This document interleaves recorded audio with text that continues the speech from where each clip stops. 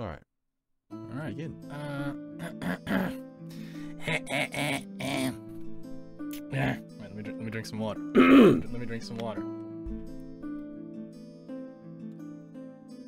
Lower the voice by a few oct- octaves. and Sound a little cooler and deeper. Welcome to the Far Kingdoms podcast, where we talk trash about our D&D campaign and the characters in it. I'm Albert. And I'm Kevin. Hey, Kevin. Hey, uh, one of our party members called us out when they listened to the podcast, saying that it's a podcast about shitting on people. Well, you know what? That's exactly right. All right, it's exactly right. He not and we're not we're not saying that because you you called us out because that was our intention from the very beginning. It's actually that intro that you just heard. We, it was probably written before anything happened, right? That's it was correct. like it was probably written correct. before we even had any idea what this podcast was about. Other than shitting Yeah. on people. But um I mean, But it yeah. didn't turn out awful. yeah, you didn't expose us or anything, okay? So just saying. Just, just put just put that out there. You know you you know who you are. Anyway, yes.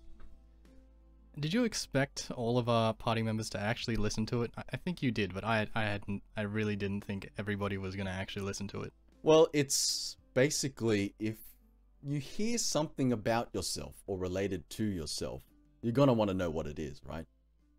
It's like a high school rumor. If you hear a high school rumor about yourself, you're gonna know what that rumor is. Like you want to know. I think if I I think if I knew they were all gonna listen to it, I probably would have been a little bit nicer. But uh, I think I think it's no, we set a that. No, no, Yeah, we set a precedent. We set the bar. Okay, we set the bar.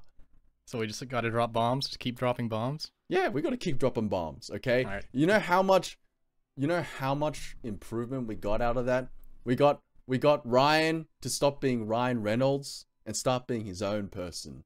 Now, Uh huh. st- he's still got the random name, but that's fine. That's honestly fine. I'm okay with that. I'm slowly getting over that. About about Ryan. My emotion is back after seeing that image. Like I can't look at Ryan Wilson anymore and, and see it as Ryan Reynolds. Every time I see Ryan, I'm like, oh, that that's a D and D character. That's a D and D character. Yeah, for, for context, um, Ryan uploaded a picture and he was like, "Hey everyone, I have an amount announcement. Uh, due to some comments made in the last podcast, I've decided that I don't want Ryan to look like Ryan Reynolds anymore. He's gonna look like this badass art I found. Well, he didn't say badass art, but if you want to check out that art, join our Discord and click on the art channel. It's right there. yeah, I'm pretty sure he commissioned it. What? He yeah, commissioned that's, it? That's that's an OG. That's an OG. That's OC OG. That's what he meant when he said that it's from an artist I found. I'm pretty sure, right? Or maybe not. No, Maybe I'm he's a, che- he's, misunderstanding. a, he's a cheapskate. He's a cheapskate. No way, no way he would spend that much about money. It might might have been cheap. I don't know. Speaking of uh, characters writing more, um, I was so surprised of the the somewhat wholesome reception we got from that last one. Like, it wasn't just Ryan who improved their backstories. It was um Oasis. Yeah, it was like Storm. Nearly oh, ev- it was good. nearly was good. everyone everyone had something to say and like it was not like everyone was like oh i gotta write more about my backstory but a lot of people were like hey i wanted to clarify this and like kind of clear the waters about you know the stuff that we said. I think maple um was like uh, i think I, I i mentioned earlier that maple like seemed too eager to burn down the chapel and he wrote to us saying that you know basically he wanted to clear up that that's like he wasn't being a psychopath he was saying like maybe we just silently burn it down and kill the hags you know but um but yeah and then oasis with the with the slide in the dms Mhm. saying like you, Mhm. you know she's got some stuff planned or written out i'm excited for that I'm really excited for that. Who knew words could uh could fix so many of our not exactly problems, but uh some of the issues we were talking think- about. Who I knew words think- would do such a thing? I think D and D sessions in general do require like an after after session talk at least for like a couple minutes and like be honest, right? That's the main problem. People don't want to be honest. True. Like pe- people want to nice. be we want to be, be nice and not, you know, make anyone feel bad. yeah. Um people people are afraid to drop bombs. but that that is honestly what is holding you back from having the best game that you can. Yeah. Um Yeah. So in that case, we should drop some bombs, right? Well, we'll drop some bombs. We'll drop some bombs. But Let's first, drop- let's talk Okay. about the the last session. So session forty one, which we had yesterday. Um, let's let's do a re a real quick recap of what happened. So, um, do you want to do a recap, or shall I shall I do the re- recap? Uh, you wrote it out, right? So I'll leave it to you. Okay, so basically, our party departs from Sleepywood, the town at the base of the mountain where we killed the hags, and we travel for a couple more days, and we come across this river that had a broken stone bridge. You, what was the river's name that you said? It is the Grendel River. The Grendel River that was at the end of the Grendel Plains, right? Correct. Okay. And um, there was a wagon there with a couple of farmers on there. Uh, uh, an older woman and a young-looking kid, about 15 years old. The name, the woman's name was Izette, and the Mhm. boy's name was Junior. Junior. Is that is that the boy's actual name, or Uh, is no. that like he was named after his his? actual name. He's named after his father. He is named after his father. Yeah, okay, I thought so. Um, basically, the party figures out how to get across the river. We had some ideas about turning into animals and carrying the wagon across. Uh, some of the more practical members, i.e., Snow Ryan and Tokul, decided to just fix the bridge with some wood, uh, temporarily, makeshift, makeshift fi- fix, and um, uh, we fixed the bridge. Can I Uh, comment on that for a second? Yes. So that was honestly like a really good example of of D&D. There were so many um suggested solutions to the problems those poor villagers were having. Like I mean, I'm not surprised, but it's still really nice to see. Like let's summon animals, let's clear the water, let's uh make animals into a bridge. and then well, what really what really uh tickled my fancy was that the players, well, some of the players, I think Ryan, um, maybe Snow as well, specifically, we're actually thinking about the the future of the bridge and not just the immediate issue of uh, making a more permanent solution in case the, uh, the the travelers wanted to come back across the bridge or something of the, along those lines. That actually really surprised me because I wasn't even thinking of that like at that point. Yo, So that was you really know, cool to you know what Storm said to that? He was like, "Do we care? Do we care about that?" And I was like, "Dude, you're not getting immersed. You're not getting immersed." That's his character. That's his character. It's immersion. It's immersion. He he'd probably say something like that. Maybe.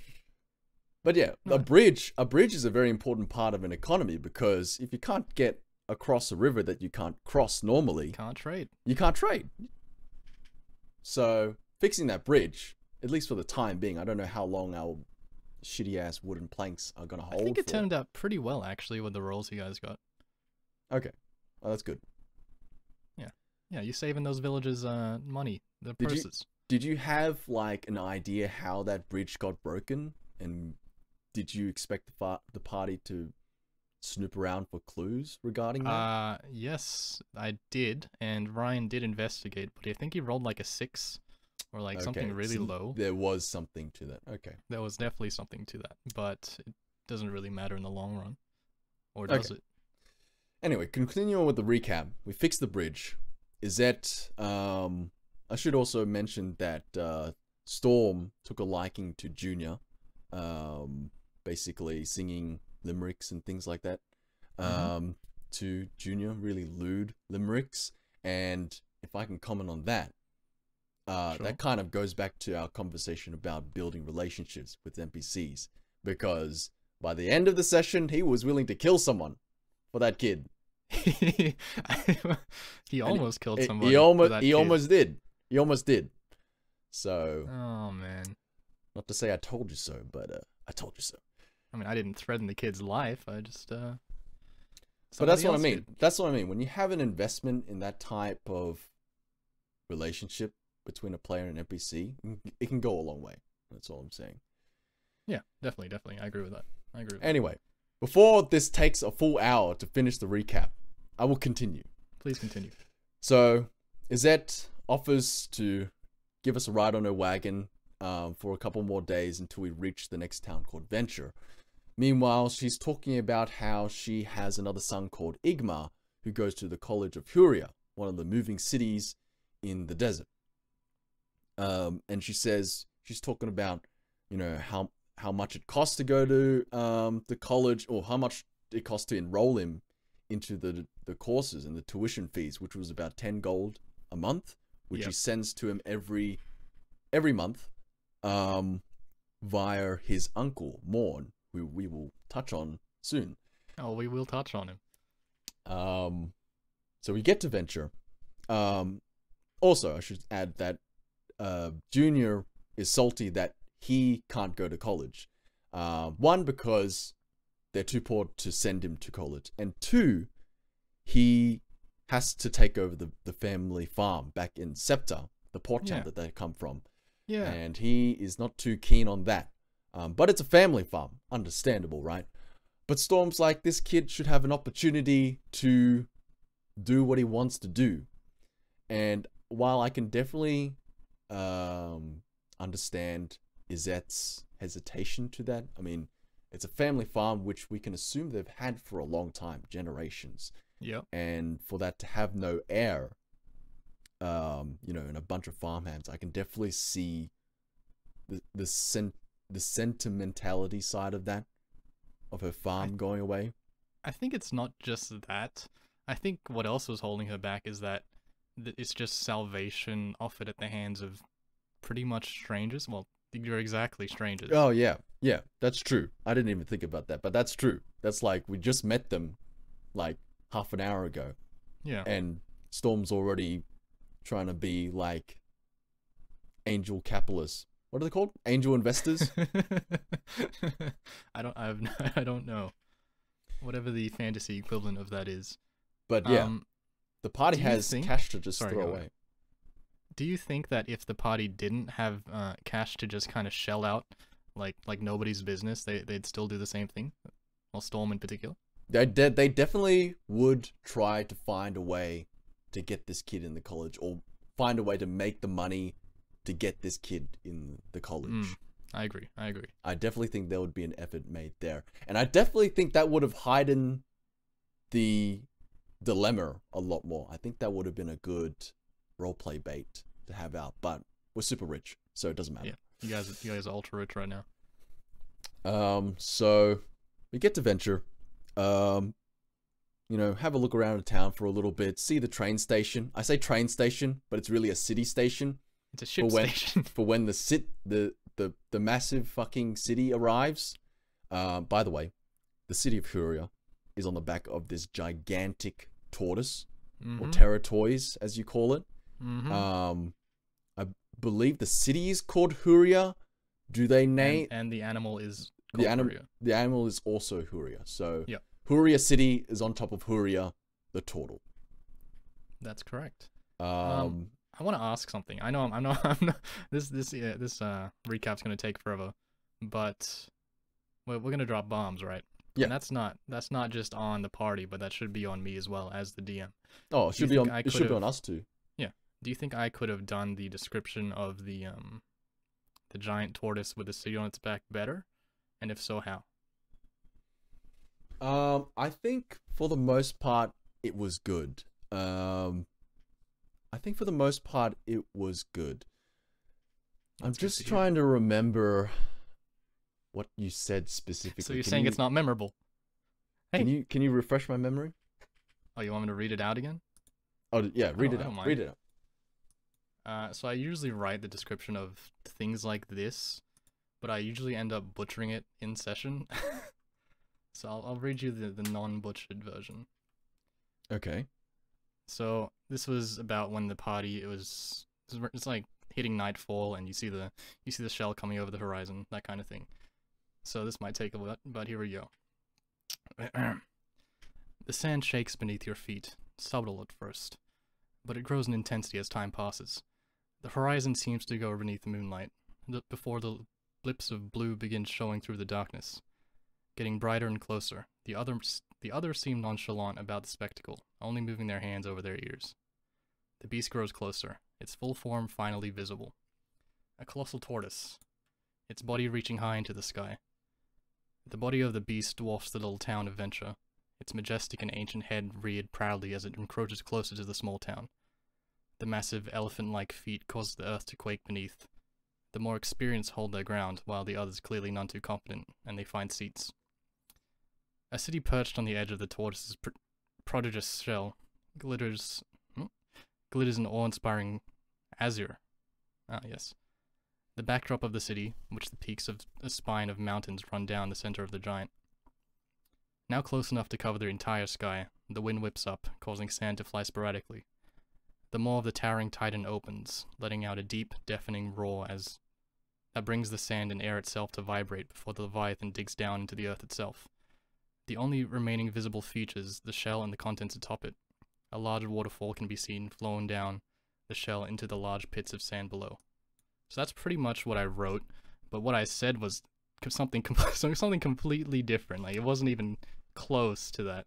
Yeah, I Like, think it probably would have been better if you described how the territories moved more because I I believe a long time ago when we were talking about these moving cities, um, which there are three, um, I believe they don't walk on the sand; they actually kind of swim through it. Yeah, they kind of swim. Yeah. So the the head of the the tortoise is like somewhat submerged. You could even say it's a turtle. It's got it's got feet, so it's a tortoise. My head canon, it's got feet.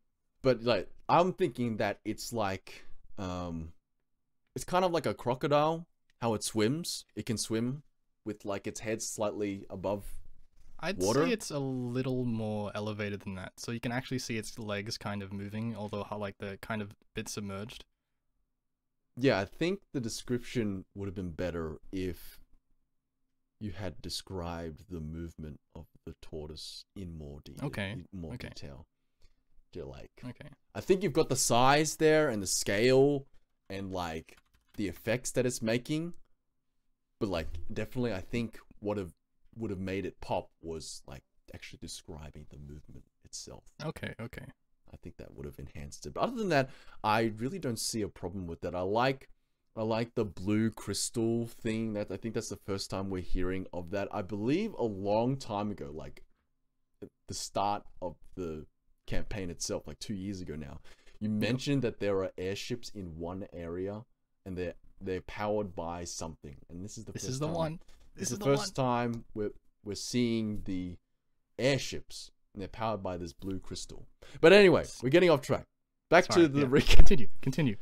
So, um, we get to Venture, and there's a there's a mail, the post office. The Almost said, postage office. yeah, yes. the postage office, right?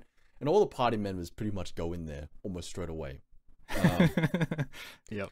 uh, Tokul gets a letter from a long lost love or infatuation or crush, should we say? That's a better way to describe it. Yes. Um, so long time ago, during like the first ten sessions, um, Tokul slept with a pros- prostitute named Sugar, and every now and again, Tokul will bring up Sugar, and yeah, he he'll thinks- reminisce. and he'll think like he'll think about her very lovingly. Um, but we all know it's just an infatuation. You know, you're Vincent Van Going all over the place. Tokul, stop. Um, so, and the thing with that, which I thought was weird, I, can I can I jump in for his defense here? sure, to be fair to Tokul, I I think it was not a lot, but there was a there was a medium sized amount more than just them sleeping together in the brothel, right? Like there was the the mansion where you guys saved her life from the um the Baron who was holding a dagger to her throat, and she joined you on your journey all the way to Guildford. I think I think it was more than just like a one night's love thing. can I can I real talk for a second? Yeah, counterpoint me. I don't remember any of that. I just remember that. can, I, can I refresh you then? Yeah, All right, I, context. it's coming to back. It's coming back to me as you tell me that. context. So they were in this town, and the Baron was an evil guy, and then the Baron they find out he's an evil guy, and the Baron threatens Sugar by holding up like a knife to her neck, and Snow at the time had this magical arrow that teleported him, uh, wherever he shot it, and it was only one use. So he shot it like behind the Baron, and then he and he stabbed the Baron in the back, saving saving the saving Sugar, I and then she she joined them for a while. I remember that because I had just gotten that arrow and I used it straight away. Yes. And I And remember Sieg was I remember Sieg, Eisen's previous character, the pre Yep. the character before Eisen, same player though, uh, was very was very cross with me that day because he thought we wanted to keep the Baron alive so we could question them. Um, but yeah, I do remember that. I do remember. I I vaguely remember her coming with us, but I definitely remember saving her from the Baron. Yep. I, Yep. rem- I remember that. So it's more than just falling in love with the Okay, prostitute. okay, but In we still defense, we still defense. don't know that she likes him, right? Oh yeah, she. I don't. I don't know if she ever liked him. Oh, all right. Sorry. gotta, continue. gotta, continue. gotta kill him like that. Gotta kill him like that. Sure. continue. Um. So he he gets a letter from her updating him on all all the stuff that's happened since then.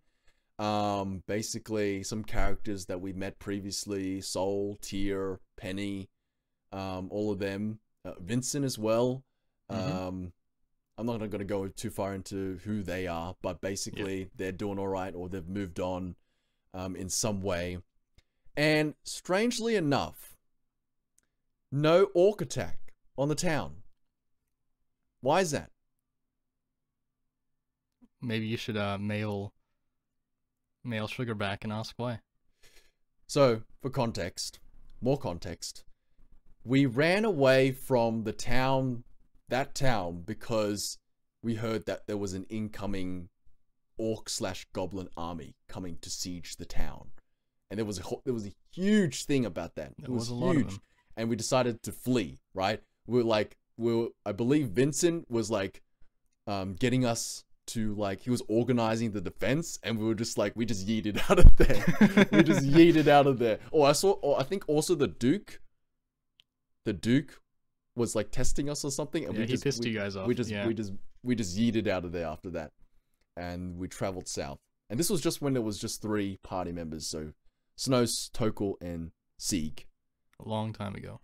A Long time ago. That's a, that's another podcast story, I think. That's that's a story for another time. Uh, Yup. but he gets that letter, and he like Tokul freaks out because Sugar mentions someone who's been helping the town out or her out personally.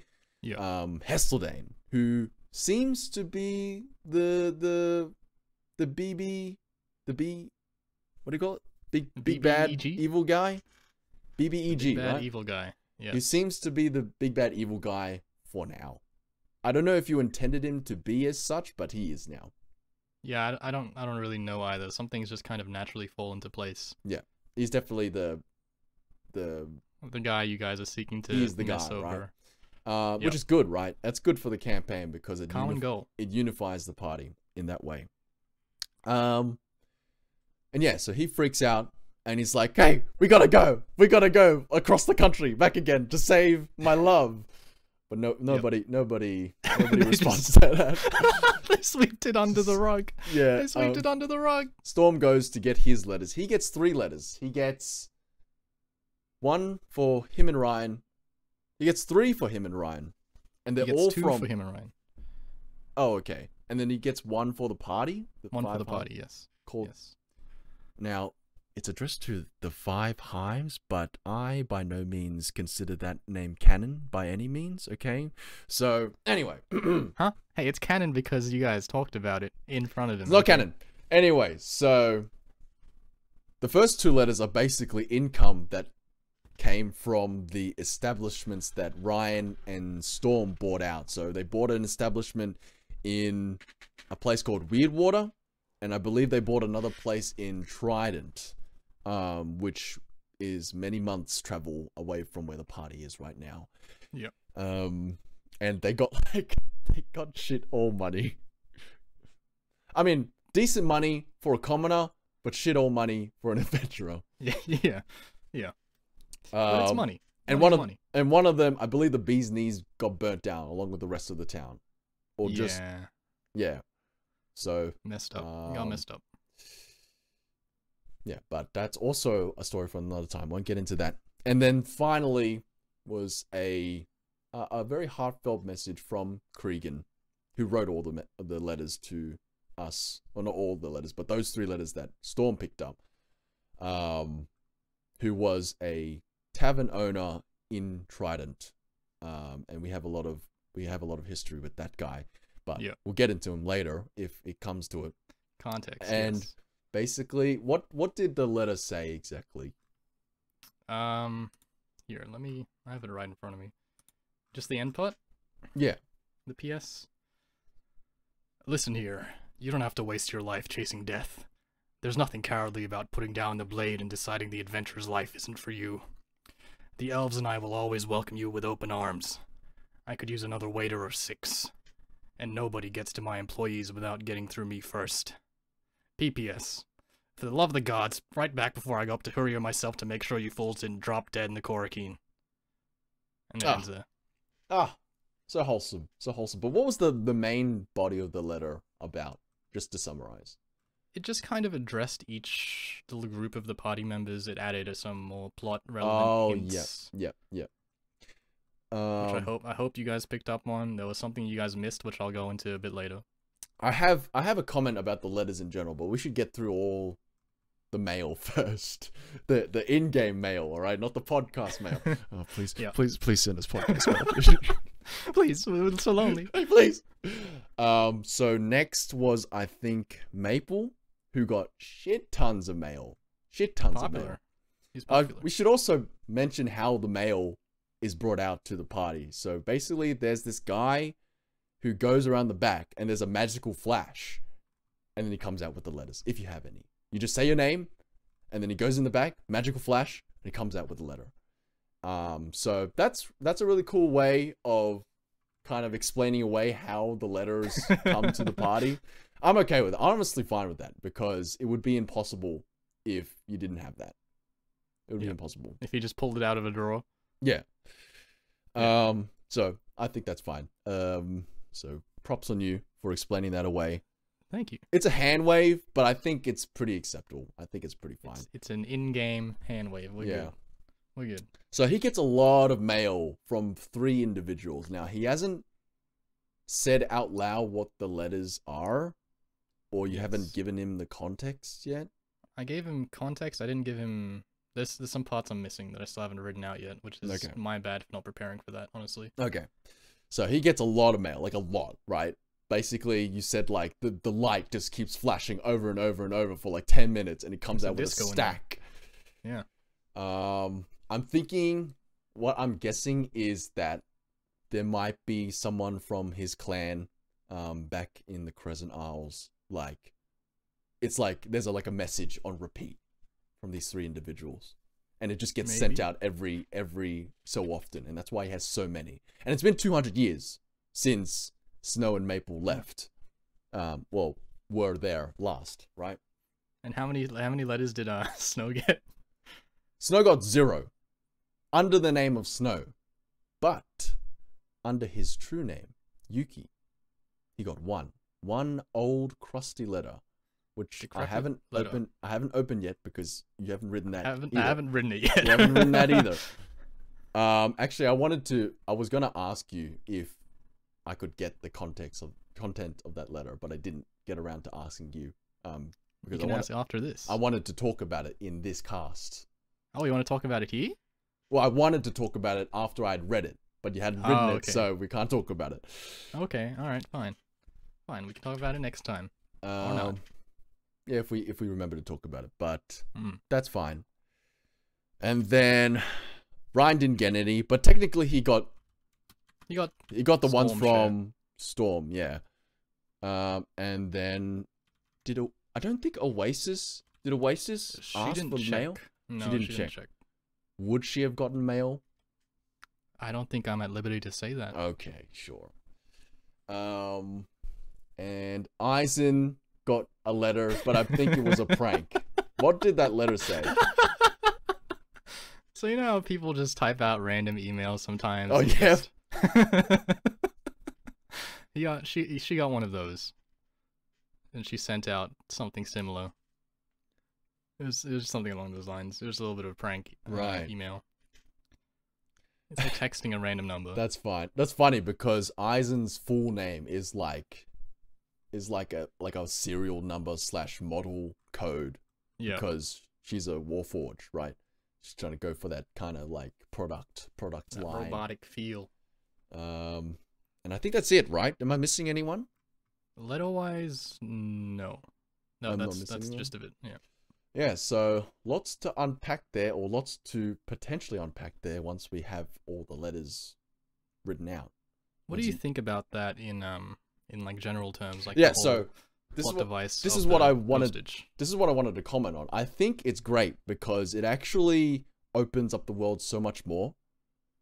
Yeah. Like it has the same effect um when I put the fake sources in your lore post a while back. Remember when I put those Ah, fake books? It makes the world feel alive. It, it yeah. makes the world feel bigger than it is, right? Yeah.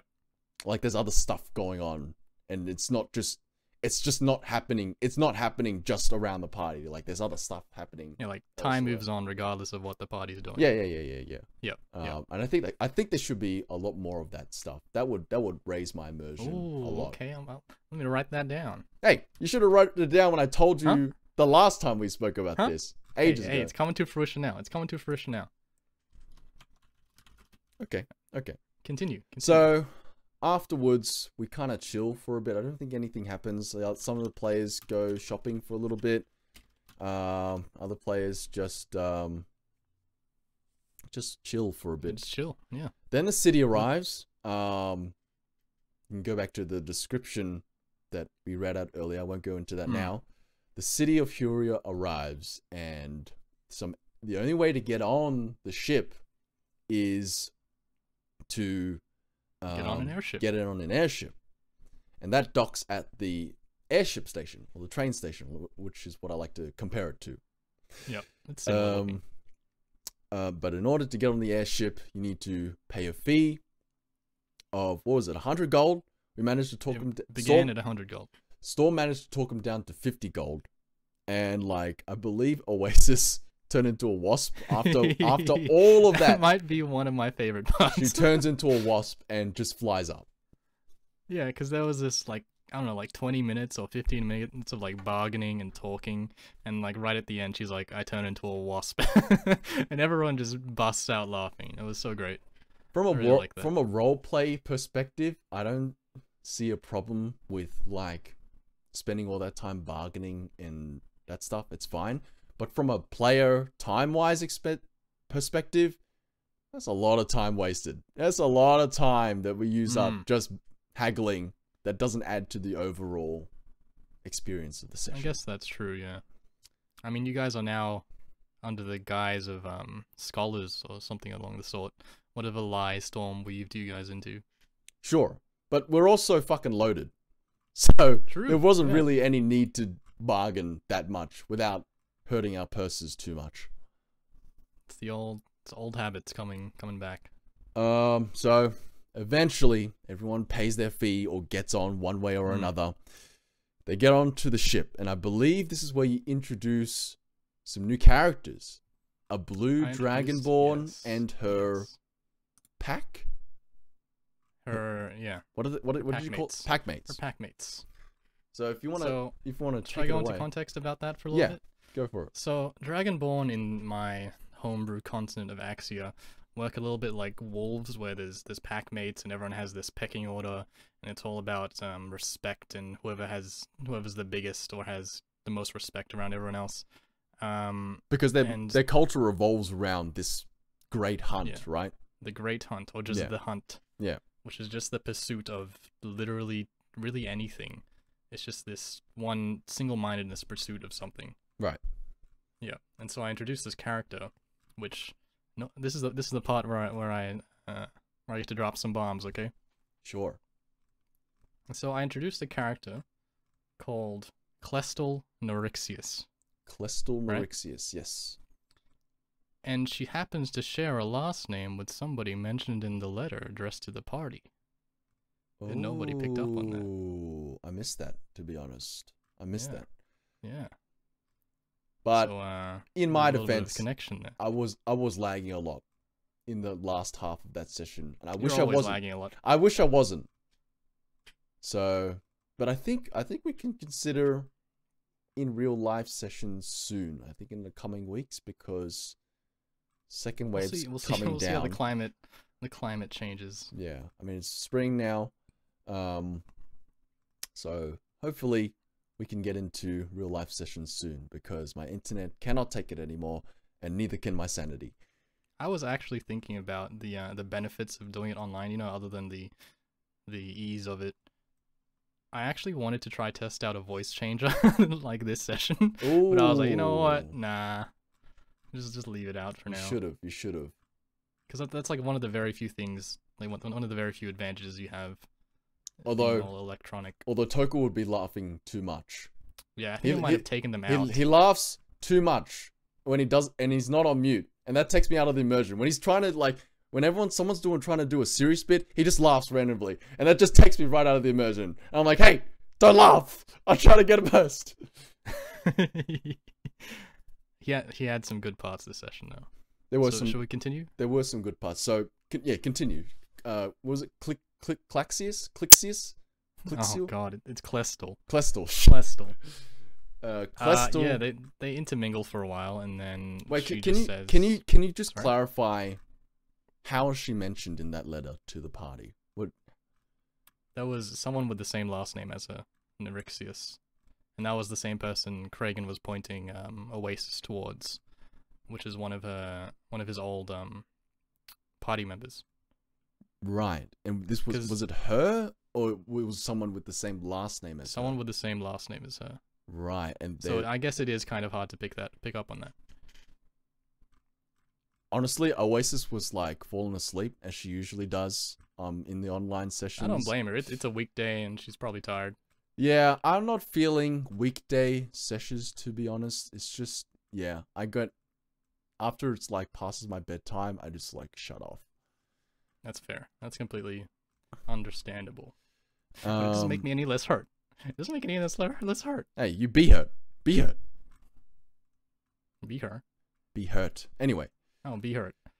go on. Um, go on. We keep going on stupid tangents. And I did I did mention she uh she was she had a different figure compared to other Dragonborn. She was much taller and uh like wider. She was like eight and- feet tall, right? Yeah. And so Tokul's I seven mean, foot.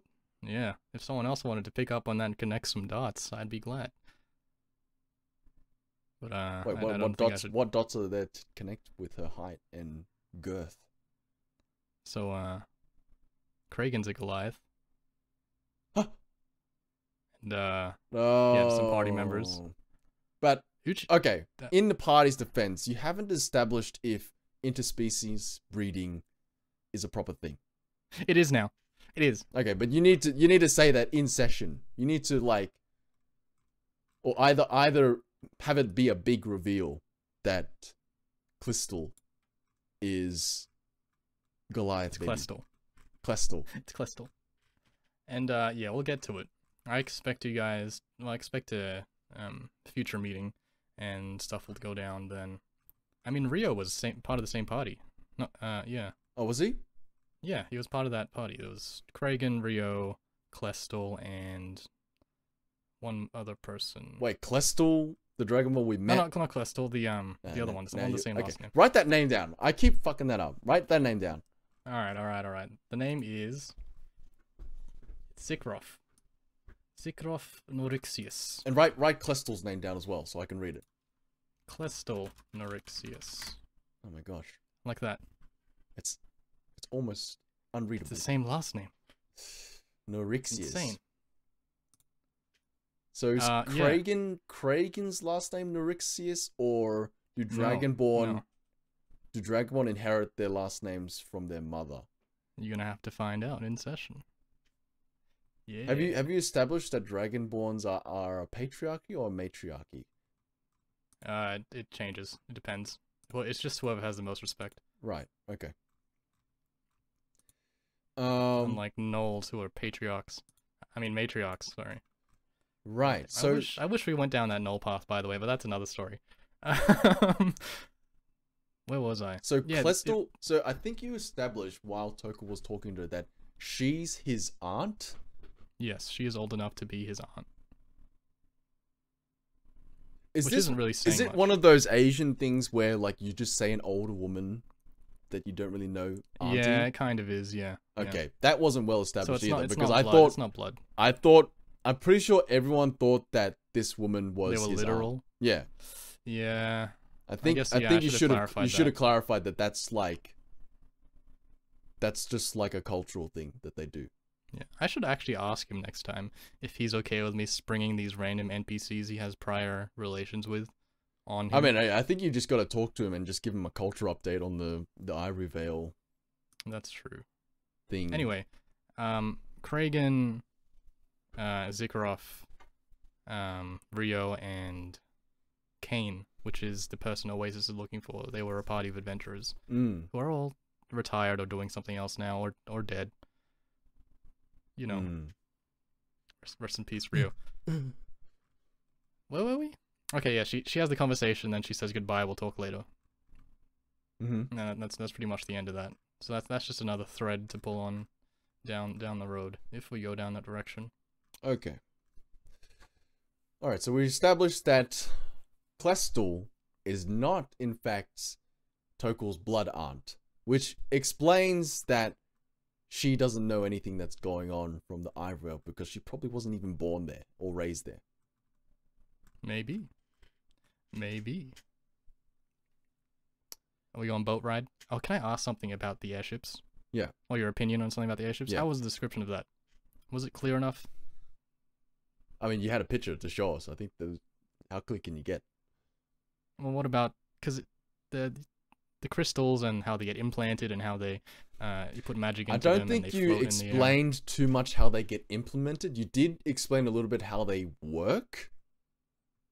Hmm. Basically like was it the bigger they are or like the more powerful they are the more weight they could pi- they could pull or Uh, something yeah, like it's that Tied to it's tied to purity and size, pretty much. yeah i think that much you explained but i don't Okay, think cool. you explained too much how they're actually implemented into the design of the airships i think passage touched on it like ever so slightly because i think eisen eisen had a big boner for these airships Oh, I, that's something I was going. I forgot to mention. He is. Uh, sorry, she, her character.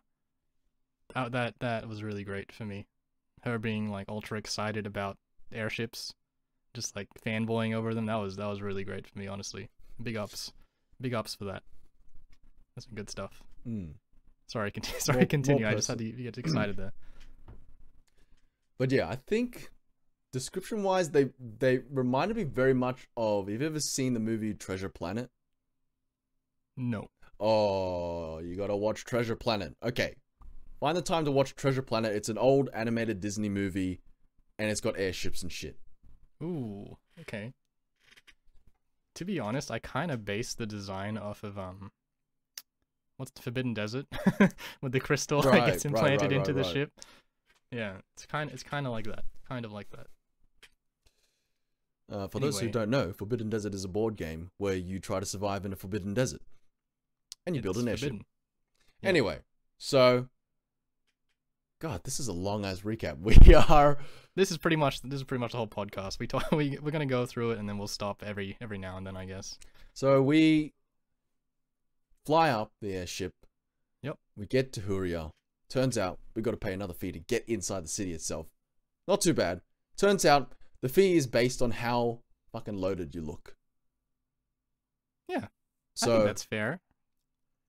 that's not fair. It's not fair. I think that's fair. It's not fair. It's a fun gimmick, but it's not fair. It is not fair. So, I think Snow got in with a 10 gold fee. Um, so it looks pretty rich, but not that rich. Um, I think everyone got through with 10 gold, except for Storm, who managed to haggle it down to 8 gold, I think. And Maple. Um, oh, and Maple. Oh, Maple was ten silvers because he looks homeless. Toku, on the other hand, with his full plate of mail, plate mail, uh, I mean, he got I, I had to 50, pounce on that. 50 gold. 50 gold. And that that gold. that remark on how he looks rich in his plate mail comes up later as well. Um, so we I all had get to it. pounce on it. Sorry, I had to pounce on it because he specifically pointed out how shiny his his plate mail was. Oh yep, yep, yep, yep, yep. Because it wasn't my fault. It wasn't my fault. he was the one showing it off. Toku has a bad habit of putting his foot in his mouth and saying things that make him worse off than they're better off. But I think that's just a part of the his That's the role play, and it's really it's really good. yeah. yeah. Hey, but you, it- Sorry, you're getting screwed for our amusement, so good for us, not good for Yes. you. Sacrifice for the party. So we go to the most redundant name, redundantly named tavern of all time, the Drunken Drunkard. Oh, I love the name so much. Oh, it's so redundant. I love it. I love it. We go to the Drunken Drunkard, um, and basically some of the party orders some uh, rent some rooms. Um, they sit down for drinks. Storm spies someone in the corner of the tavern, who name is Morn, the uncle Oh, of Junior and Igma, who Storm is supposed to deliver the, the monthly fee to. Now, I believe Storm was originally supposed to give him the full tuition Six- fees, uh, which was like 610? yeah, six hundred and ten. So Yep. the monthly fee and like the full scholarship yeah, for everything for for Junior. junior. Yep. Um, I don't know if we mentioned that earlier. Um, but yeah, to- uh, it's not Toggle. Storm is going to pay for all the tuition for junior at least. Because he's just a nice guy, which we'll find out in the next 10 minutes. So he Right. gives it. He gives.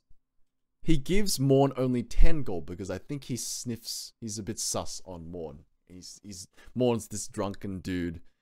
Um, Drunken, smells like piss, slurring his words. But that kind of the, the smell of piss might actually be the beer itself, which is often described as piss in Huria.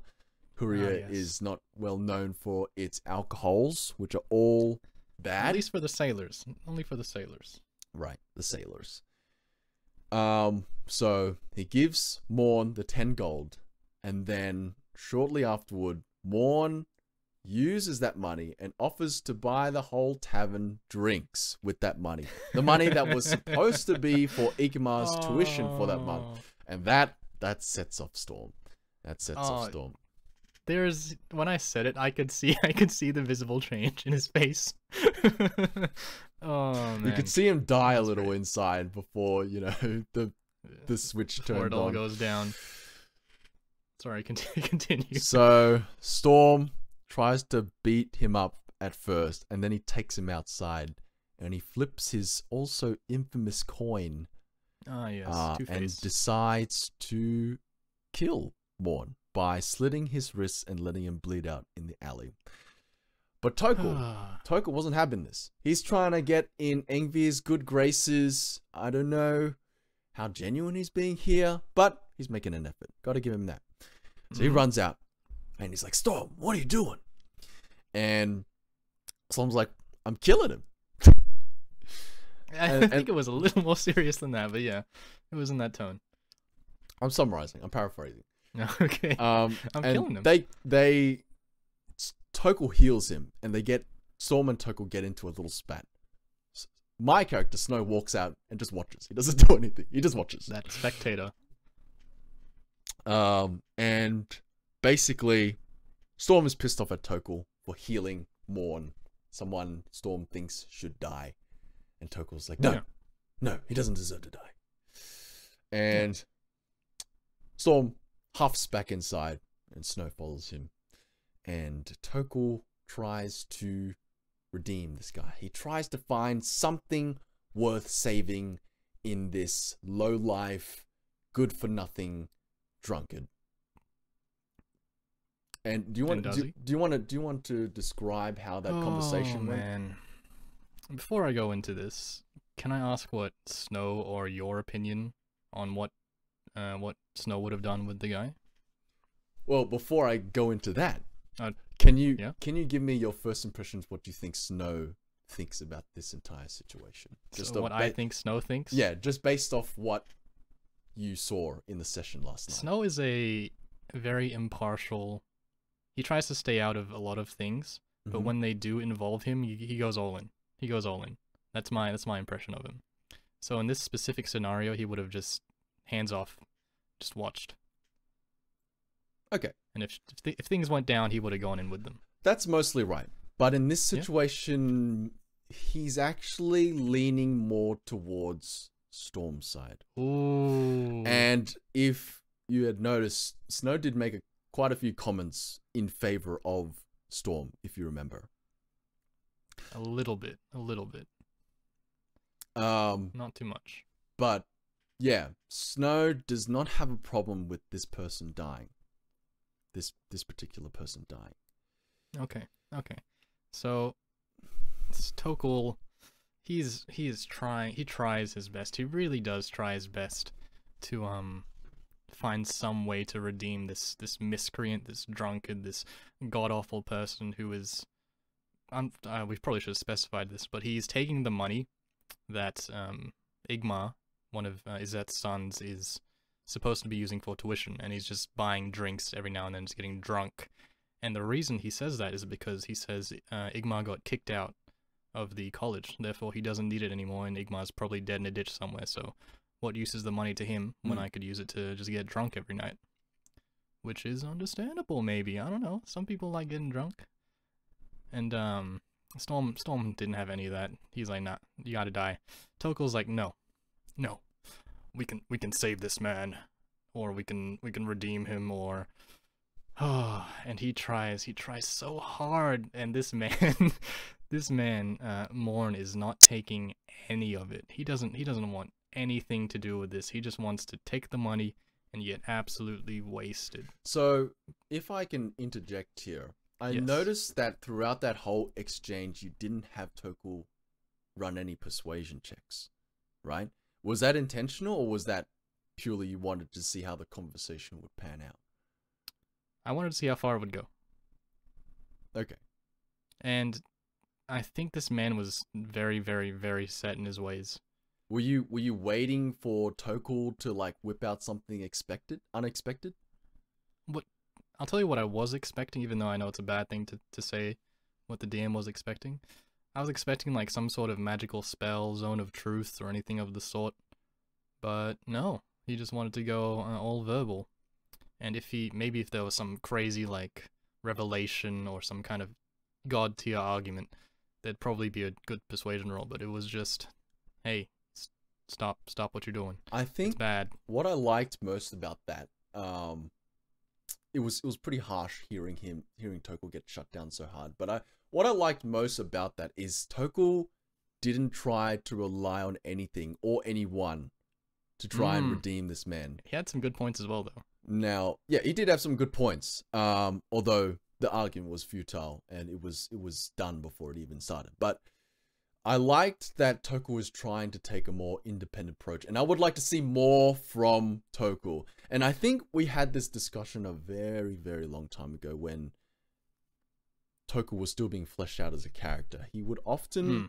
he would often try to fall back on other party members or use you know other means um in order to try and get his way right Yeah, it's just more Um, like, hey guys, what should I do here? Kind and of. i i thought and i still think this i think that's kind of lazy that's kind of lazy like because you're not thinking for yourself you have you're you're deferring the responsibility of whatever it is you want onto someone else to get for you which i think is pretty lazy role playing wise which is why i liked this so much that he's being more independent because it's really Yeah. it's really helping him build his character role playing wise yeah. so i hope so as as yeah. I hope Sorry, he does that more in the future. I'm done. Okay. Thank you for So, attending so as so as much as we're dropping bombs on him right now, we are really, really, really, really impressed and happy with with his roleplay. right? Yeah, he's come a long way. I wish he would remember to keep up his role playing voice. He forgets every second minute, but And you remind him, it's okay. he's he's he's coming along. He's coming along. We shouldn't have to remind him four times a session to bring back his voice, but he's come a long way. All right, He's come a long way. I love it. I love him. Ah man, it, it, I'll tell you that it did hurt shutting him down like that because he brought up some good points. Like, do, do do you have you ever loved anybody? And I was like, oh, oh, oh. And maybe maybe there is more backstory there, but it's gonna take a little more than that to, to bring it out. So should I just continue the recap? Yeah. So after that argument, uh, Tokul just kind of gives up for a second, and Morn just goes back into the tavern. He goes ordering drinks again, and Storm, seeing seeing the man he hates so much walk back into the tavern and ordering drinks, he he tries to go up and um, cast a curse on the man, Mm. but Ryan Ryan oh Ryan, oh Ryan, I enjoy I enjoy the role play here, where he's like, this is a bad idea, not because you're doing a bad thing, but because doing so will get us into trouble. Hmm which is a completely different take on on on the same matter. And it just shows how dynamic the party's perspectives can be which is really really really cool honestly and he Well, tries he tries to grapple Not to take Sorry, away from Ryan's spotlight here, but Snow does make that argument quite a bit to Yeah, Storm. yeah. Often. But yeah, that is Yeah. it's, it's nice how nuanced some of the views can be. yeah how different some of our views can get Yeah. yeah, and they try ryan tries to stop him there's a grapple check and then everyone remembers that storm chugged a potion of hill giant strength right before he clawed right before he clawed the man so uh ryan does not save him he also i believe storm rolled a natural 20 on the grapple Oh, escape. yep, yep. Yeah. So that was fate told him no. So he goes up, he casts a curse. Morn goes real pale. Uh, he throws up a lot of his um a lot of the alcohol and then he gets dragged back outside where Tokul is waiting again.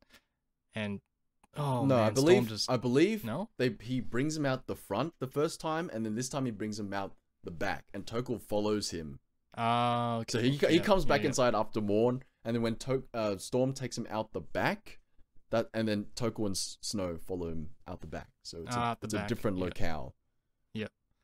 and um, Storm just he takes out his flail, his evil flail that lights up because he's evil, kind of. We'll get into that later, and he just goes down to smash it right into that guy's skull. Mm. And Tokul tries to intercept it, and this is where my DM skills kind of fail me because I don't know mechanically how something like this is supposed to go down. Well, and I, sorry, go. Yep. D and D Five E is designed in such a way that a lot of it is based on DM's discretion. There's no set rule for. I don't think there's any set rule for what happened there and how you should have ruled it. So any way Hmm. you ruled it is is the correct way you you you rule it because Yeah. they expect you to just make a ruling on the spot. That's how Yeah. that's how D and D Five E is designed mostly. Yeah, so I'm I'm always trying to find the most fair solution. And in this case, I'm not sure if I did choose the right solution, but Storm didn't seem too upset about how it went down. So what I did was I just said that um, if Storm sees Tokul trying to intercept, he also realizes that there's a chance he hurts Tokul as well. So he kind of hesitates and pretty much loses his uh, his will to to strike down this man. So he pretty much gets automatically intercepted, and I believe he just argues for a bit more and then goes back inside or something. No, they agree. So Tokul brings up the point that Mm. maybe Morn should just leave the city forever. Hmm. And Snow, uh, sorry, not Snow. Storm seems on board with that, but he's. I remember him saying, "If if I see him ever again, Ah, I'm killing him." He I'll did. cave He, his face in. he did I'll cave his head in or he did something the. like that. He did the. The Tokul line to the Ubanian merchant. If I see you again, I'll kill you myself. Hey, that's that's pretty that's a pretty cool um like mirror, huh?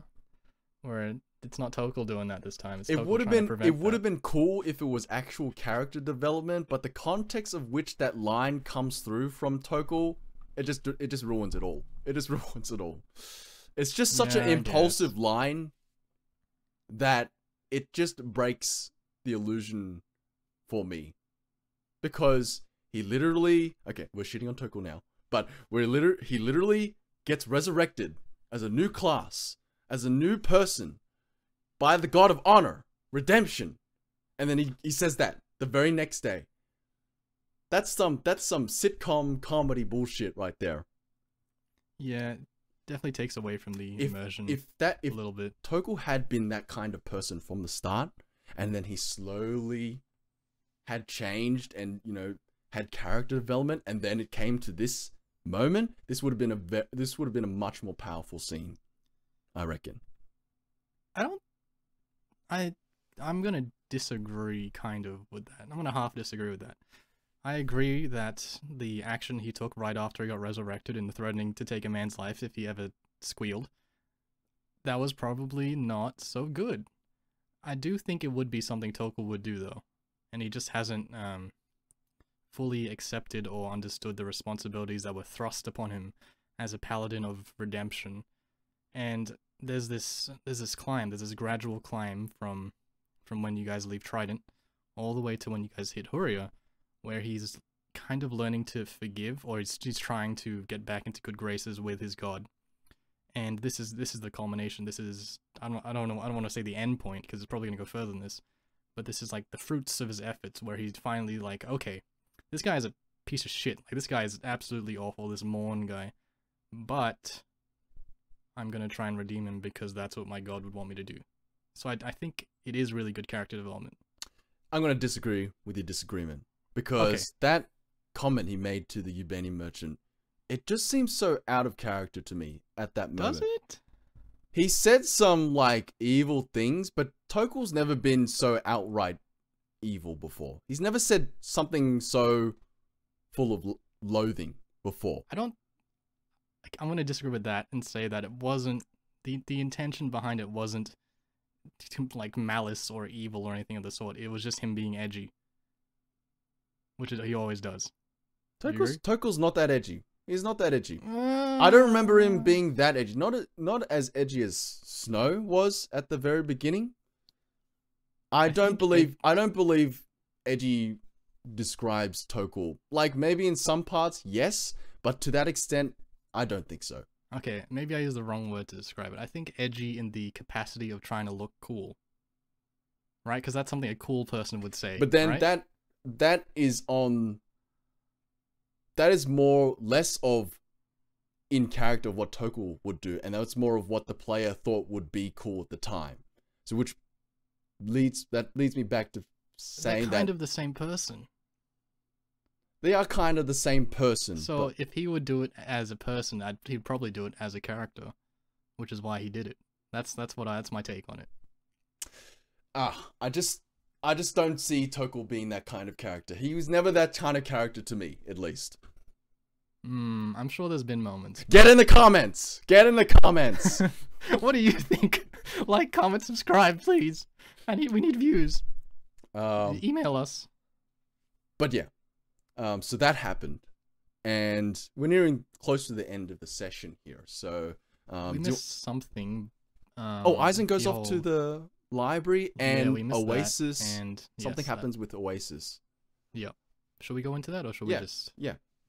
Okay, so Eisen, she's always after information, so she gets directed to the library, and she just heads in that direction, which we never got to fully explore because the session had to end. So we'll come back to that. But Oasis, um, she gets dragged to one of the back rooms by the tavern keeper, who also happens to be an air genasi. And Oasis is a water genasi. Yes, and so there's some kind of connection there as Mm. being close to nature or whatever. And the Air Genasi says, "What are you? What are you doing here? You you can't you can't just show your face like that. There's there's this giant bounty or a bounty Mm. on all water genasi." Yeah. And she just kind of covers her up a bit and just uh, gives her this this card that leads to a guild of some sort, and just kind of leaves her there. kind of just like, all right, Yeah. see ya. I'm going back to my tavern, Yeah. kind of thing. And we didn't really get past that point either. I don't think we never got to explore that before the session ended. Do you Mm. agree? Um, yeah, I think, I think Oasis was just taken off balance by that, and she didn't really know how to respond, which is why, and then you had to switch to another character. Mm, I want to talk about that in depth a bit later if we have time. About the character switching or about that that Yes, the, scene? the character switching. the Okay. character switching. Yeah. Um, and then should we just go back to Storm? Yeah, so what do you want to talk about with Storm? Oh, just just the whole Morn debacle. And what do they decide to do at the end? So basically, to cap it all off, the last thing that happened in that session was Tokul um, picks up Morn's unconscious body and or weak body, um, and uh, is deciding on how he's gonna get him out of the city.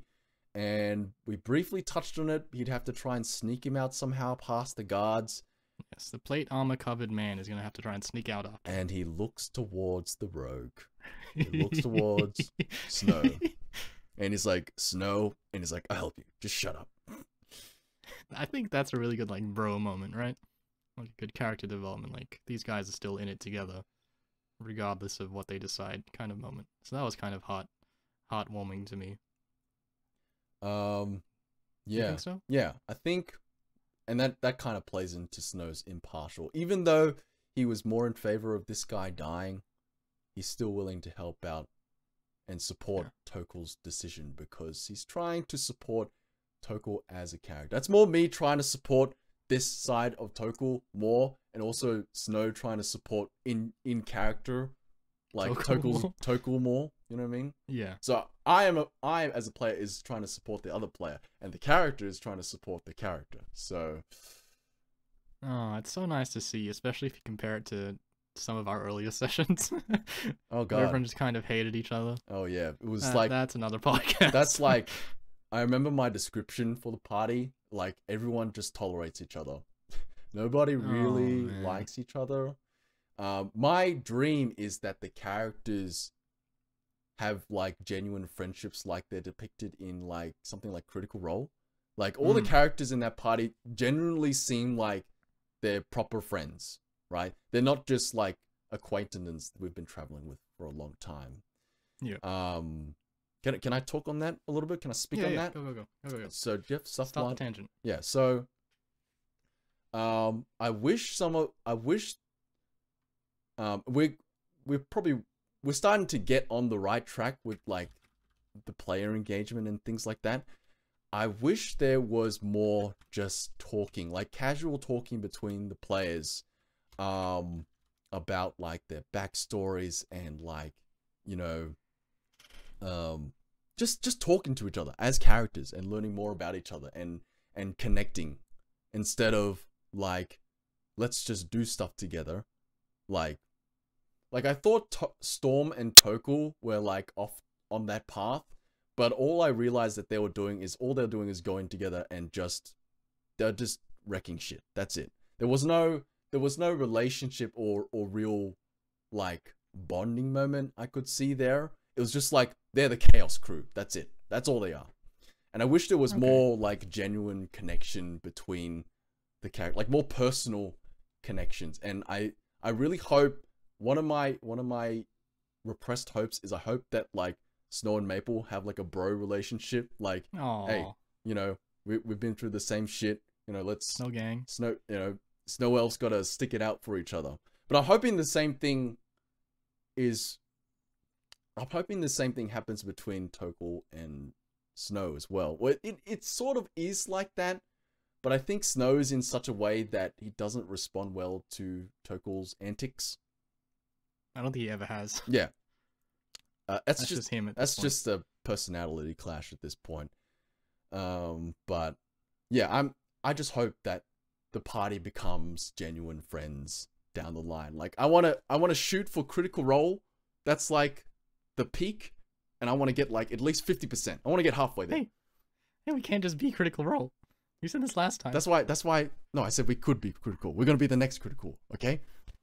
Huh? No, we can't. We're gonna have our own strong. sponsorships. NordVPN, D and D Beyond, sponsor us. All right, right. Shadow Legends.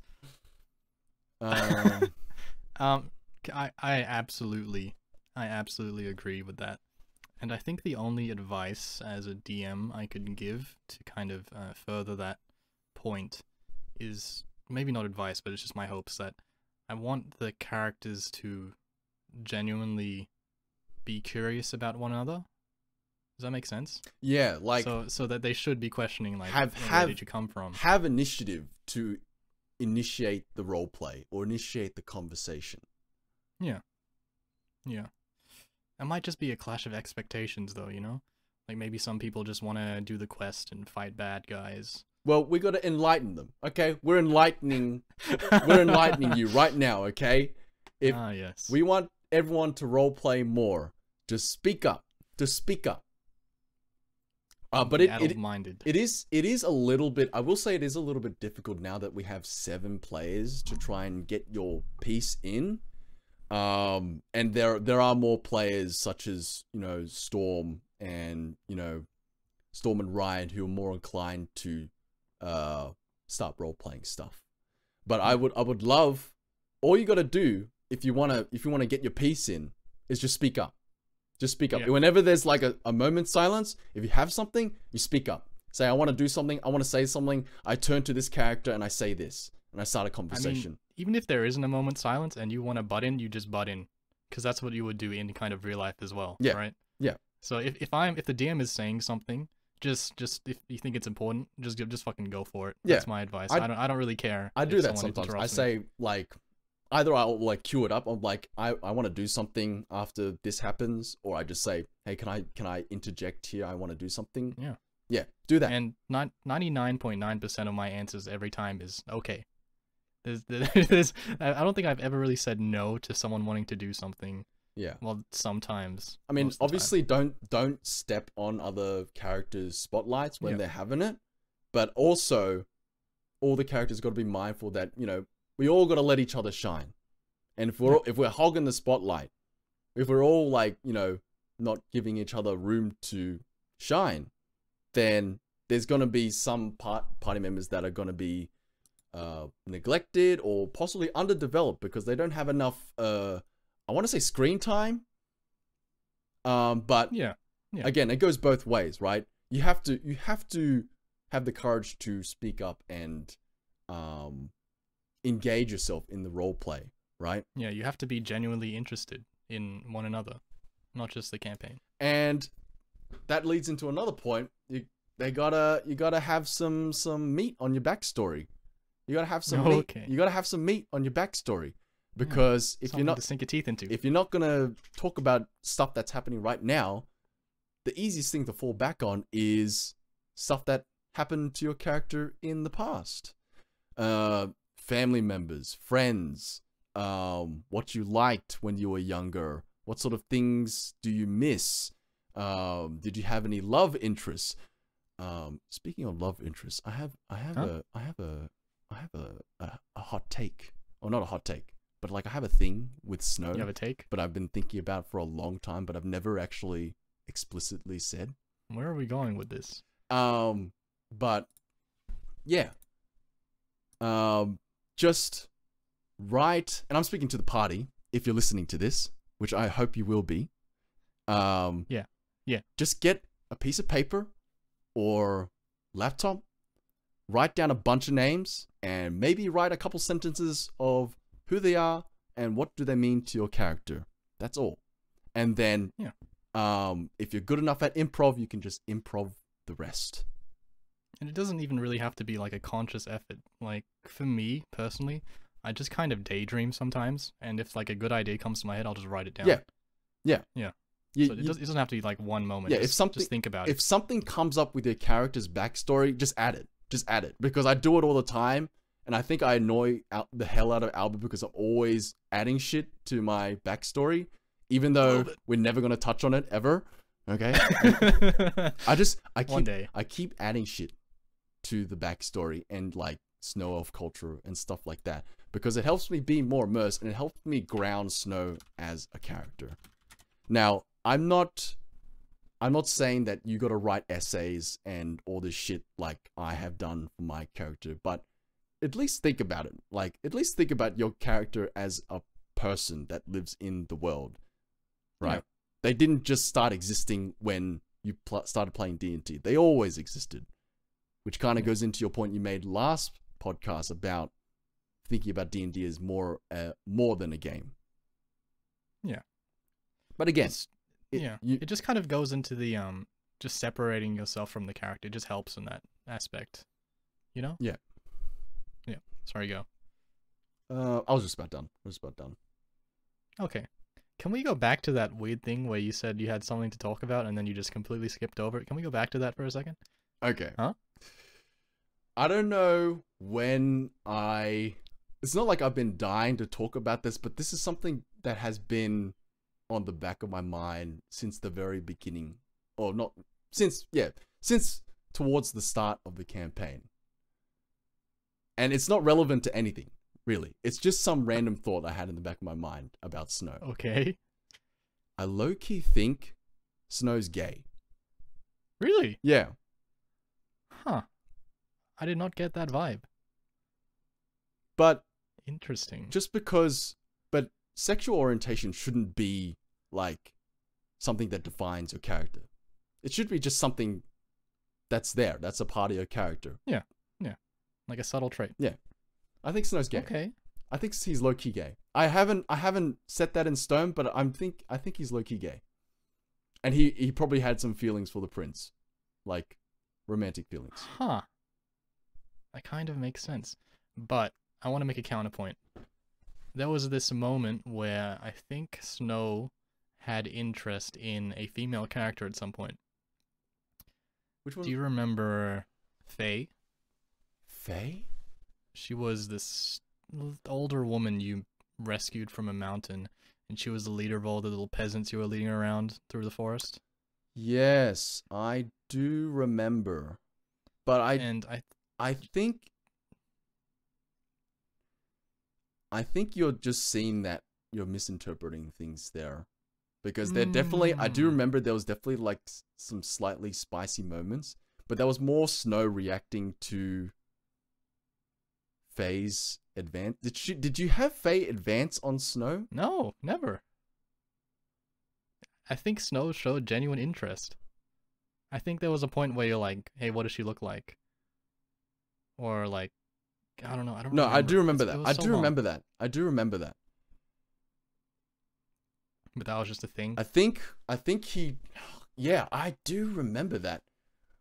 But I never intended for Snow to have romantic interest in that. I just think he wanted to try and connect to the representative because she was like acting as representative for the the refugees. yeah. So he the face. he just wanted to try and connect with her to it's it's been a long time, but I'm trying to recollect what my intentions were.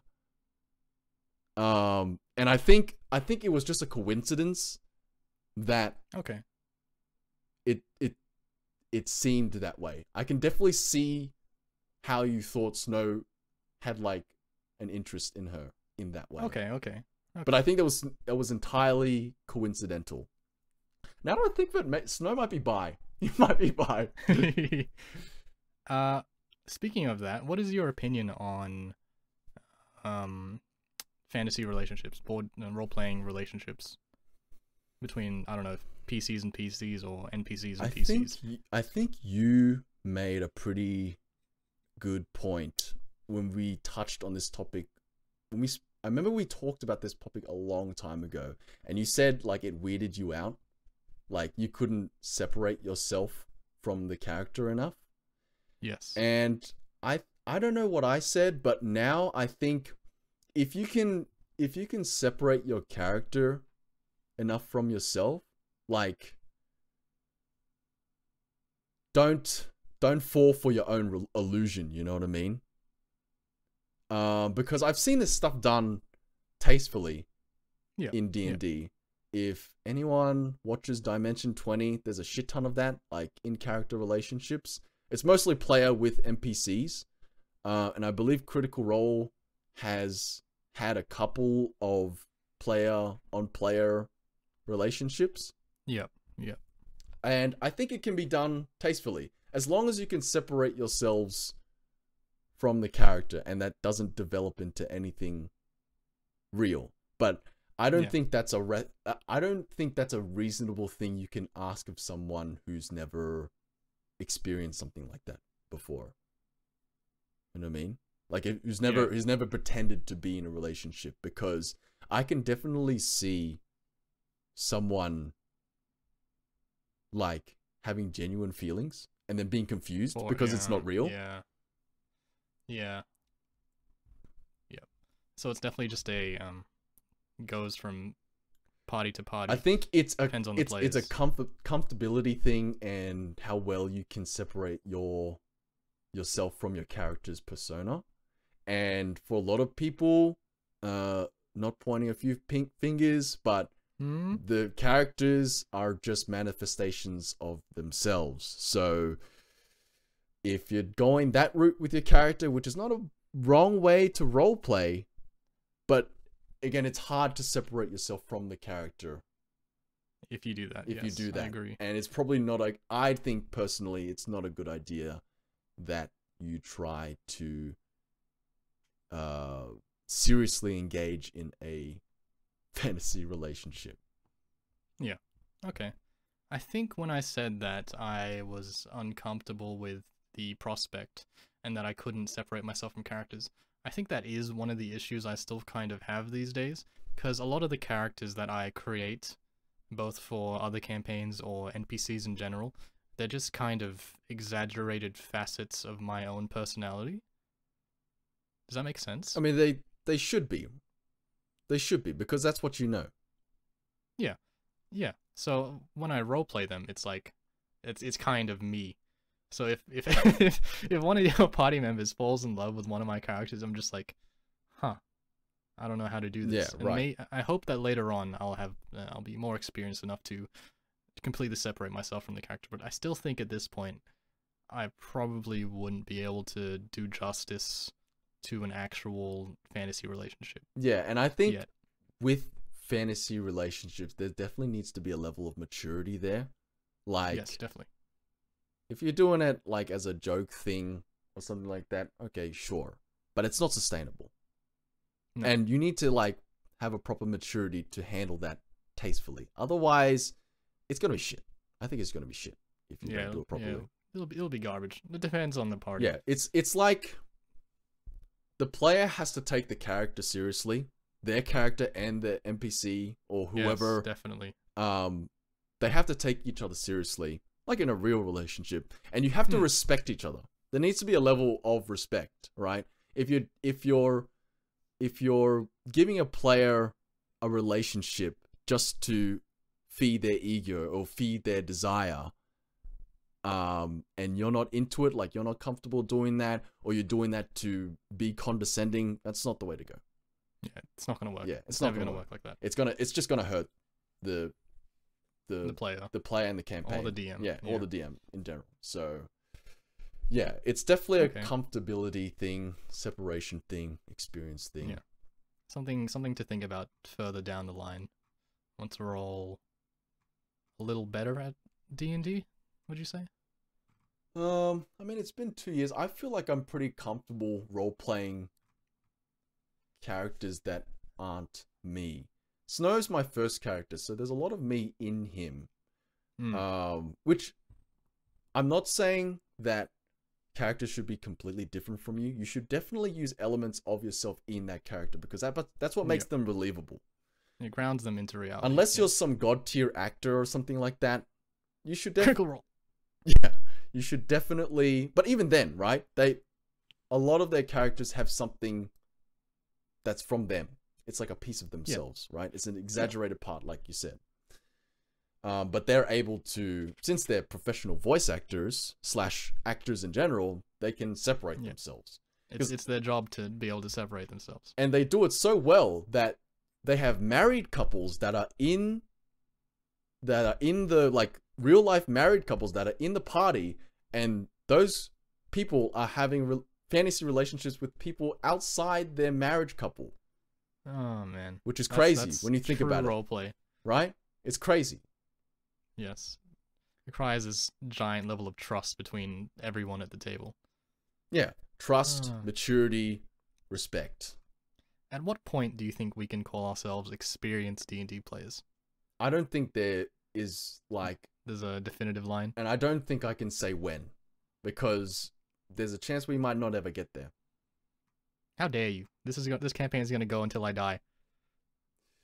Uh, Maybe. not saying like I'm not saying the length of the campaign. I'm saying that our our uh, maturity levels slash commitment to the role play uh, slash all these things, we might not get to the level that we think it might get to. It's it, just it, it might never unattainable. I know- goal. Critical Role is like the god tier, S tier, right? And nobody expects a campaign to be like that.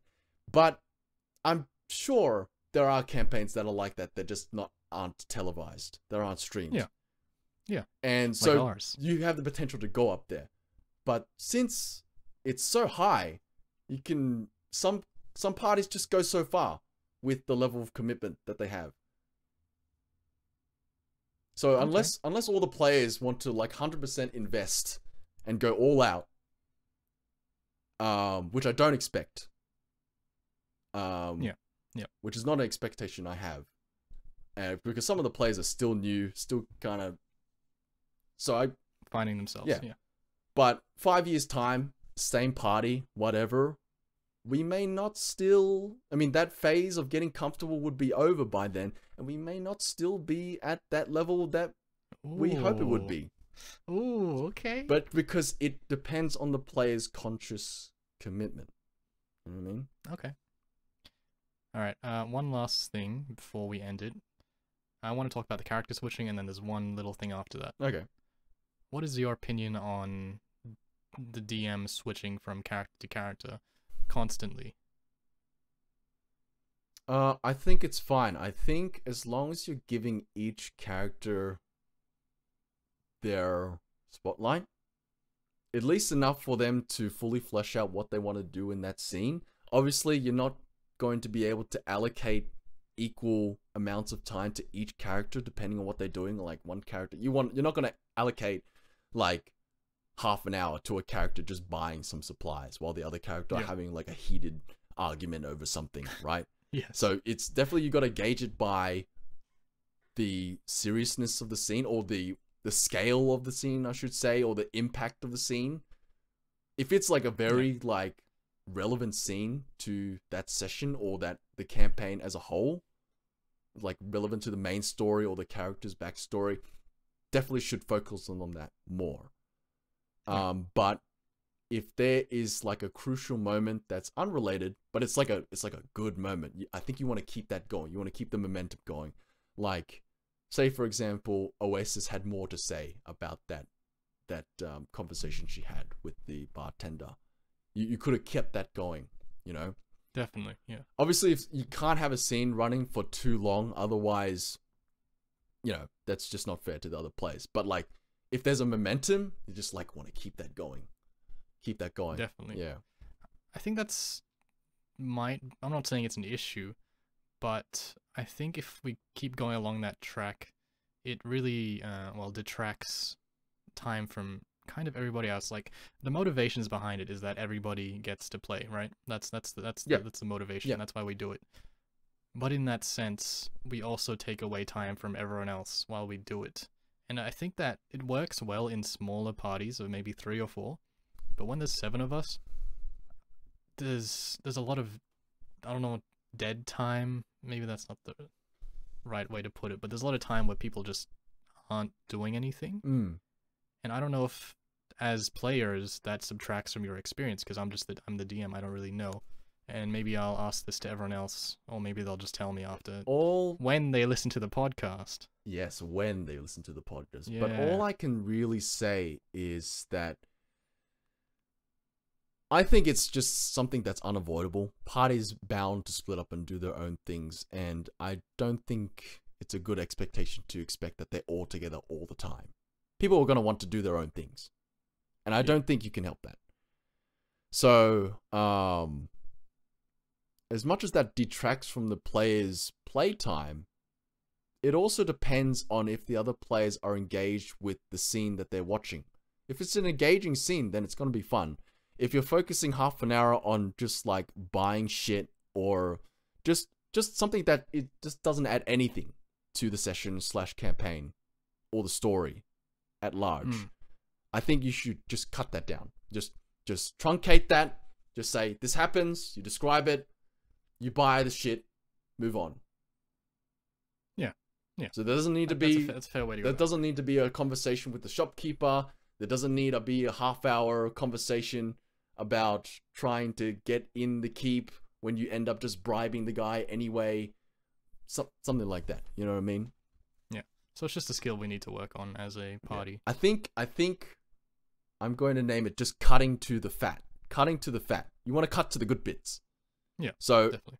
for example, we want to talk to the Duke, but the guard is not letting us pass. You can say, "Yeah, it doesn't look like he's going to pass." Um, if you just want to suggest some things you want to try to get around this person, um, do a roll and see how well you are, or just just cut that guard bit out and just say you you go in, you go in, right? If you feel like it's unnecessary to Mm. have all that part that part in there, you just go in and then you talk to the whoever you need to talk to. Yeah. And- I, that's definitely. Sorry. Sorry. Continue. Sorry. Go. um, and then have like have all the interesting NPCs. Like if you have throwaway NPCs because you know you haven't prepared enough, fine. But if you have actual, eh, you know, storied NPCs that you want to throw at the player, just have them be at the place where the party's going. Like if you intended for this person to be at the bar, but the party went to the park instead, they're at the park now. They're at the park now. Yeah. Yeah, that happens. It, ha- it definitely happens. I mean, uh, no, it was a mere coincidence that they were at the same point. I just, I think that's one of my personal issues when I DM is that I find I find everything interesting. I find every little interaction interesting. I always want to explore it, which in small parties is great because everyone everyone's everyone's having fun. But it eats into so much time. Yeah. like where where does the time go? Like I mean, we did used to have longer sessions, but still, it took it takes a long time, and I'm okay with it. Hmm. And I just hope the others will be okay with that as well, or it just might be different expectations, kind of thing. I mean, I think what I would suggest is that you can you can explore your little itty bitty bits that you want. But as soon as you get the feeling that the scene isn't going anywhere, I think you should just cut it. Like Mm. you should you should give it an out, give it a clean out, and then move on. And don't don't let it don't let it play out until it fizzles out, you know what I mean? And waste another 20 minutes. Okay. On that note, would you rather, when we do character switching, that we finish the scene before we move on to the next one, or we or we quit, we continue hot swapping between the two, or the three or four or five different Yeah, scenes? I was thinking about this. I think if it's a very important scene to the characters or something like that, um, probably should let it play out. Like if it's a Let con- it- it if it's a if it's a conversation, like an important conversation, uh, I would like no ad breaks in the conversation. If you catch my meaning. Uh, but you. if it if it's like a player like goes to one area, does a thing, and then travels to another area, I think it's a good to cut it where they're traveling to the next area because that has Yep, that's like yep, that's a good like break. there's dead time anyway. there's there's yeah. dead time there, but if there's like a crucial scene like a bar fight or obviously you have to go case by case. It's not simple cut and dry. Like if there's Yeah, a bar no- fight there's no and there's players in the other area and they like they notice and um they run they start running towards the bar fight um where the other players are um i think that might be an exception to cut in between players because you're having simultaneous action and it's technically the same scene even though it's not in the same place it's like connected I agree. um, but like completely disconnected, unrelated scenes. I think you should try and keep them as whole as possible. But obviously, if a scene is going for way too long, like it's an important scene, but it's going for way too long, I think you should definitely cut it. Like, yeah, I don't have a clear answer on this. I think I would prefer that the scene be run out to be run as a whole, as a whole thing, and not be cut up as much as possible. But again, there are there are situations and scenarios where that is just not practical. So, but yeah, Case by case. yeah, keep, case by case, but keep them whole, preferably. But you just make a decision, you know, when you play it there. Okay. Um, so there's one little thing that I forgot, and then we'll cut it after that. Uh, how long have we been? Is there anything else you want to talk about? I don't think so. Um, going for maybe an hour and a half now. yeah, just one thing I wanted to touch on in terms of saving time. I noticed that you, um, like say for example, we say we head towards the tavern. I noticed that you you often you're like, okay, you guys are in front of the tavern. What do you do? Obviously, we're gonna go in the tavern. There's no need for you to ask that. What are we gonna do when we're outside the tavern? We're in. We're gonna go in the tavern. We said we're heading towards Good the point. tavern. Good point. Yeah, I noticed you. I noticed you do that. You like you stop us right outside the location, and you're like, "What do you guys do?" Oh, we, we keep going. we keep going. Unless if it's really, Yeah. if you really weren't clear on what we were doing, or like if there was like we finished a conversation with the NPC, what are we gonna do? Sure, but if we're like we say we head towards the tavern, now obviously we're gonna go towards the tavern. Just keep that going. I think that's remnants of a bad habit, or just a habit I used to have when I had to push roleplay at every opportunity I could. Yeah. But now I guess it's it's just kind of around. So yeah, I'll definitely try and work on that. Good point. Good point. Let me write that down. Cool. Um. Anything else? Is there anything you particularly wanted to touch on? Uh, there's one last thing, and it'll take like two minutes tops. Yeah. So, um, I had a plan. I had it planned where you guys step into the city, Mm-hmm. and you guys you take in you take in the atmosphere, you take in the air, uh, the fresh scent of adventure kind of thing. And I completely figured, it completely slipped my mind, honestly, that you guys were gonna level up at that point. Oh, shit. so yeah, I forgot to tell you guys to level up. Um, So you're all level nine now. Congratulations. You might want to put that in the, I'll- the, I will, the. Discord so we can do that, and then we'll re- we're ready for the next session, so we're not wasting Yes. time there. We have Yeah. so little time to run sessions now. What Uh, happened to the six-hour sessions? What happened to the twelve-hour all-day sesh? Where'd the time go? We gotta we gotta organize Oh. another all day sesh. Maybe this Christmas or so. I'm down for that. That'd be fun. I we never we never got to have an all day sesh quite like the Oni session. Like we Hmm. like just in terms of length alone, we never really had a session like that. I went from 12 to 12. Yeah, no, I think it was 12 to 12. ten hour session technically Oh, 2 to 12? because we we ate we ate Oh, we had lunch. we had that day. lunch and then then we played. Oh, that was a fun session. Yeah. That was a fun session. Ah, good sessions. All right, we should we should stop it here. Okay. Um, thanks for listening to our podcast. Uh, catch us next time where we have uh, our first guest on the podcast. Yes, sir. Um, so get excited for that. Uh, we'll catch you guys next week, probably. Yeah. We're Far Kingdoms. See ya. See ya.